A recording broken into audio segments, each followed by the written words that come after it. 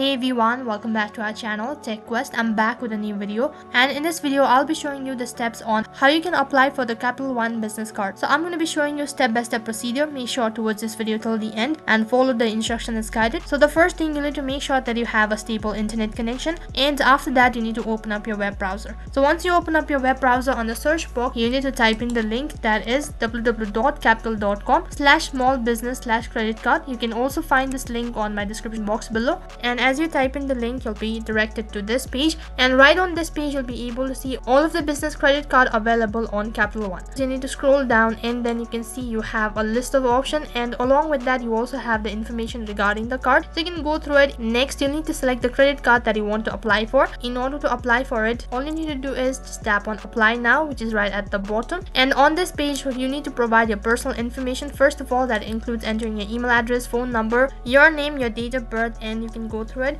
and after that you also need to provide a business information. And once you're done providing your business information after that you have additional business information page. You need to provide the mailing information or the billing address and then there's some important terms and conditions which you must go through it. And after you're done just tap on continue to be notified that the request for the card has been submitted and within 5 to 10 days you'll be able to receive your Capital One business credit card. So that is how you can apply for it. That is all for this video. I hope the video was helpful. Make sure to like, share and subscribe to our channel. Thank you for watching.